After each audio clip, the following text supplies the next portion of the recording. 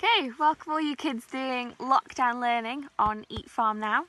So the theme this week is the environment, which is a really important one because as we know, with all of us, we're not doing a very good job of looking after it. And there's lots of different ways that we can look after the environment better. And it's the same with farming. Depends on the type of farm you've got, what sort of food you're producing, and the type of land that you're on.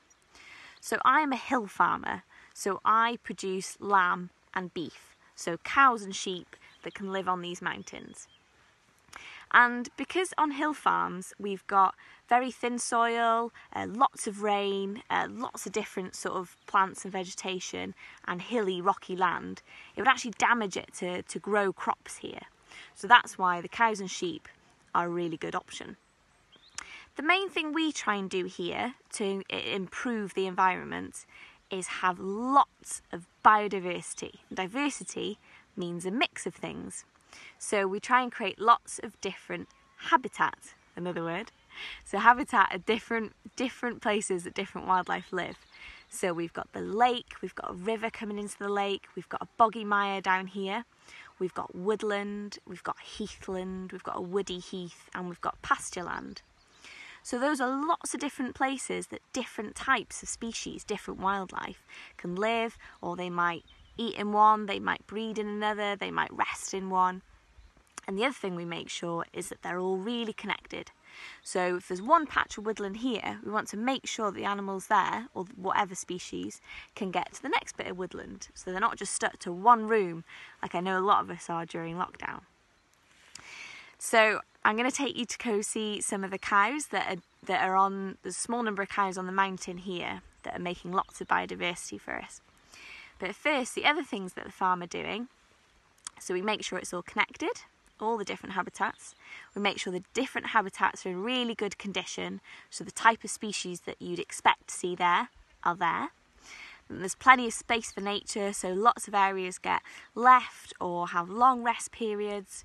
Um, and the other things we do, we've got renewable energy, so it creates green energy that doesn't create carbon emissions. We've got a hydro scheme on a stream over here, and we've got solar panels on some of the roofs.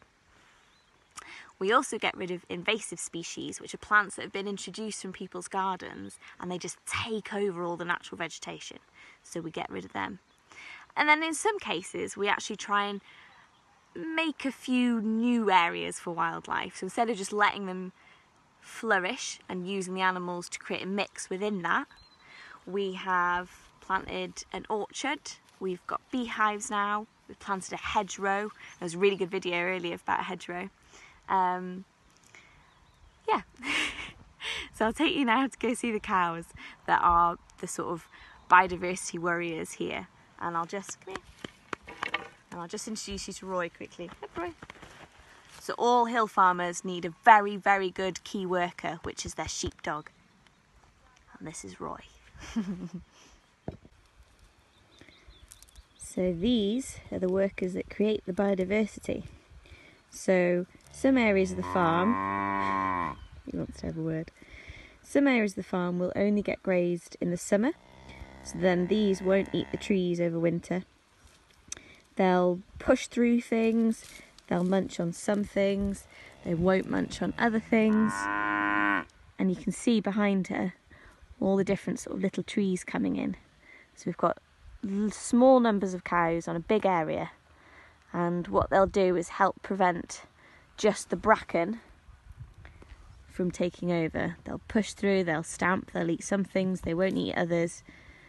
But we won't leave them there for too long or over winter. So everything gets a chance to grow some areas won't get touched, but you get a nice mix of things coming in. So this is an example where we use a small amount of grazing to create a lot of habitat. And you can see it there behind us. And these are Welsh black cows. So they're Welsh cows used to the mountains.